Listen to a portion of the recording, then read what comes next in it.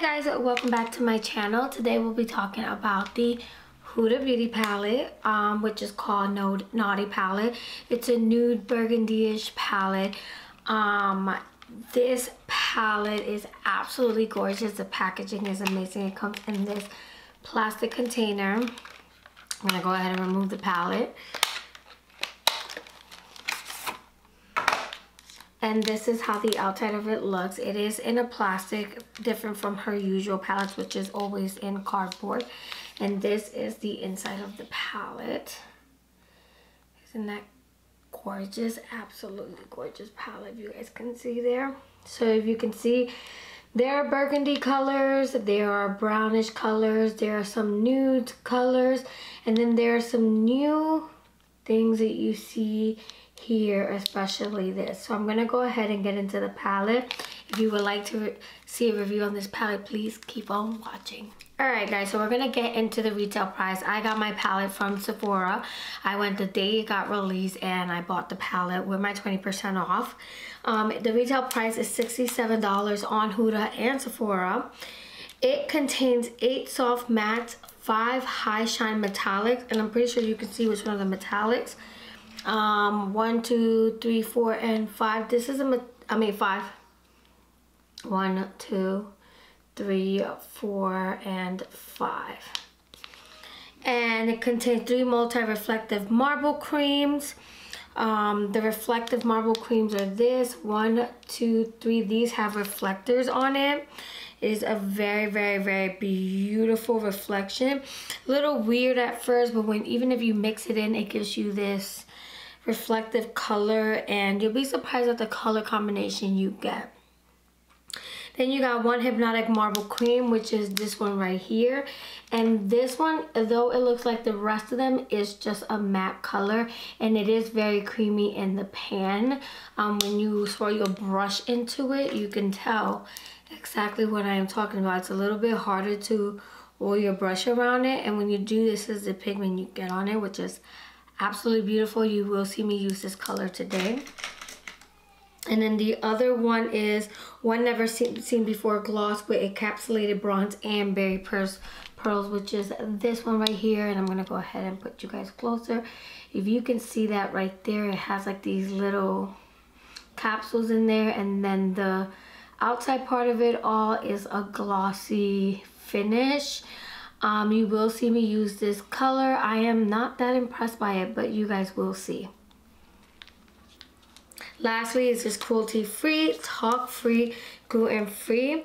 And then the shade that I just showed you, which is slippery, there are multiple ways of using it. You can use it alone. You can use it as an eyeshadow. And when I say alone, I mean you can put it all over the lid and consider that your eyeshadow look for the day.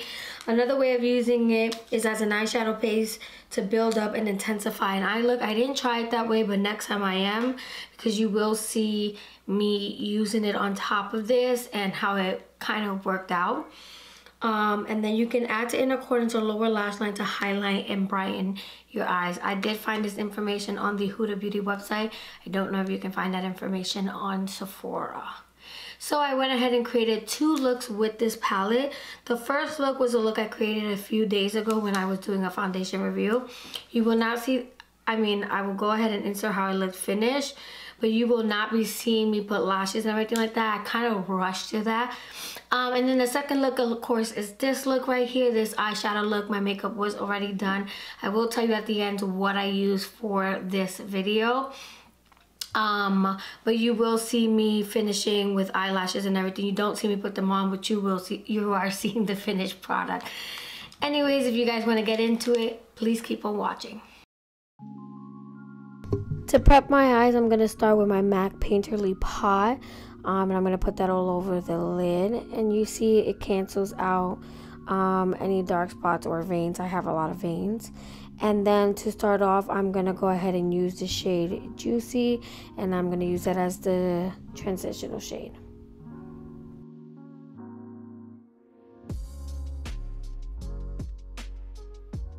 You see that I keep blending and then I'll be moving on to shade Naughty and I'm going to put that a little bit lower than I put the transitional shade and continue to blend those two out together.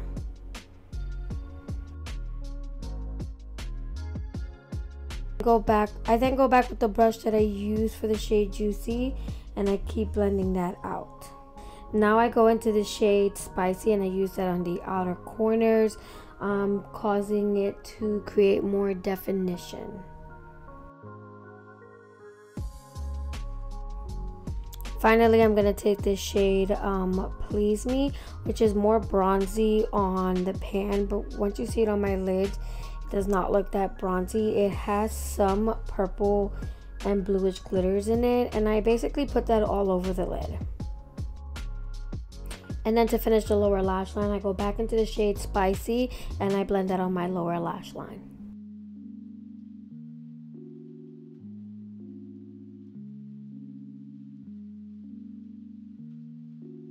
For the final piece of this look, I go into the shade Tantric, which is a golden shimmer, and I put that in the inner corners, and I also use it to highlight my brow bones.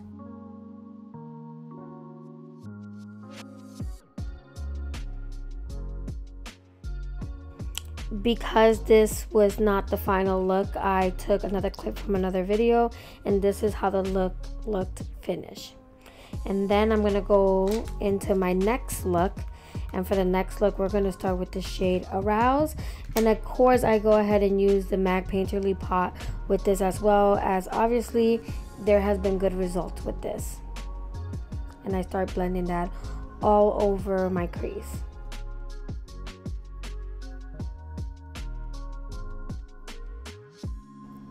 Now I go into the shade Hard um, which is a marble shade in this collection.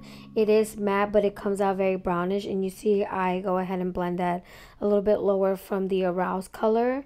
Um, and it's a beautiful color and it has kind of like a wet texture and then I go back into arouse and blend the outer parts of it just so that way it looks seamless Next, I move on to the shade Untamed and I go ahead and put that on the outer corners, causing the look to look a little deeper.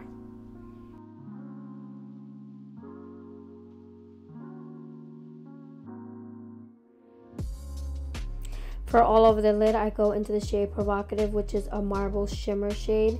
And this shade looks burgundy brownish on the pan and you would think that it will come out burgundy and brownish but it actually didn't. Um, the shimmers come out looking a little rose gold which is very pretty. And then finally I move into the shade slippery which is the ones with the pearls locked in to the um, ointment type base. And as you can see it adds a little bit of shine but it doesn't do too much of a dramatic look. I go in with the Huda Beauty brush um, which you can collect shimmers with. And you don't see a big difference. Um, you guys will see how I feel about that. And then finally I go back into the shade hard and I blend that out on my lower lashes and then for the inner corners I go into the shade Tantric.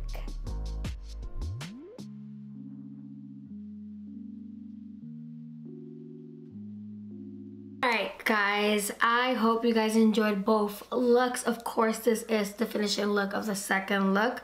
We're gonna get right into it. I'm gonna let you know what i wore in today's look. For today's foundation i gave the huda beauty um stick foundation the Faux Filter skin finish in Amaretti 310G. I'm going to go ahead and do a foundation review, but I did want to try it today before I do that foundation review so I know a little more about this palette. Um, and then for concealer, I did use the Huda Beauty concealer, which I don't have on my desk right now. For primer, I use the matte primer because um, stick foundations tend to be a little more on the dewier side. I am an oily combination. Um, so I wanted to make sure that it stayed in place today. Um, it's usually what I get with a lot of foundations that are stick base so I wanted to make sure that it stayed in place today and then for blush today I went ahead and used the e.l.f. Putty Primer um, blush doesn't say what shade is this hmm.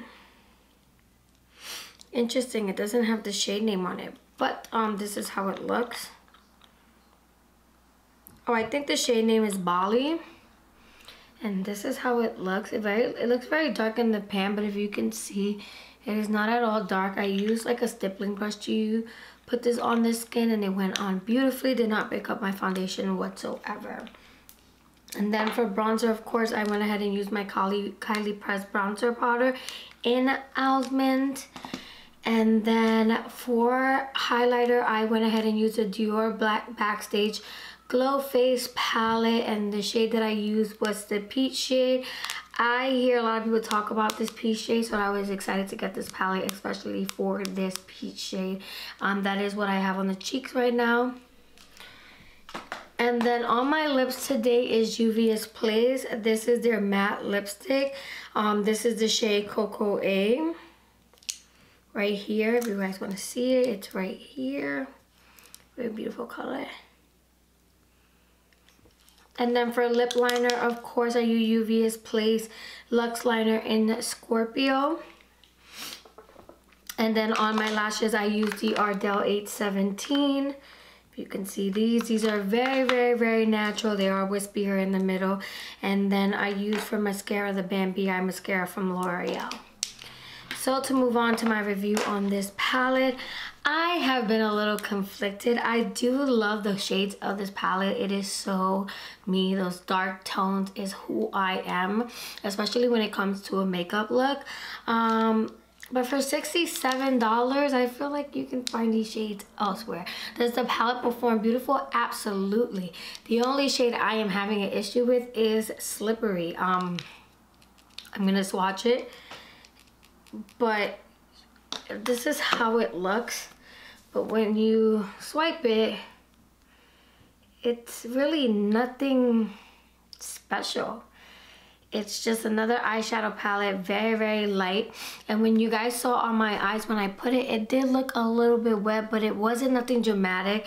It didn't give that wet effect. There was no color payoff, which was a little upsetting to say the least. I will say I am impressed with the shade Hard, which is the shade I used in my um, second look. It is a creamier shade, and when you swipe it, it comes out to this dark brown, which is absolutely beautiful. One thing that I noticed with the Huda Beauty palette, Huda Beauty palette, is that although they look very, very pigmented here, they are always never true to the tone.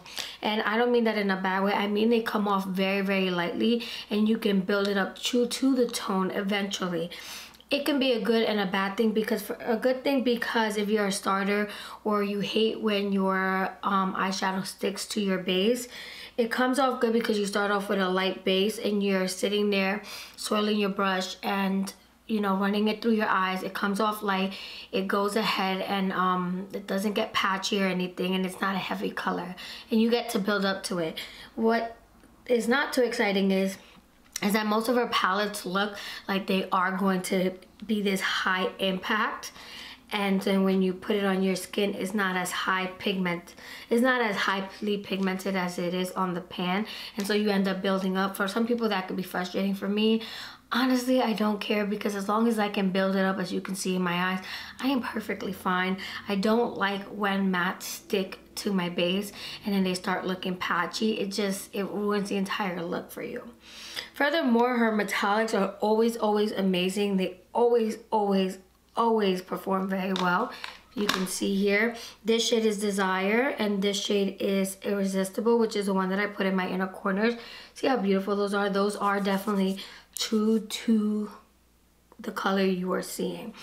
Um, I do like the palette. I'm not going to sit here and say this is not a well-performing palette. It is a amazing performing palette my issue is for $67 you can definitely find it somewhere else. And if you're trying to get this palette for this it is not even worth it. I am gonna go ahead and try this shade in the other ways that she described. As far as using it alone it probably is a nicer shade because it is by itself. There's no other colors taking away from it.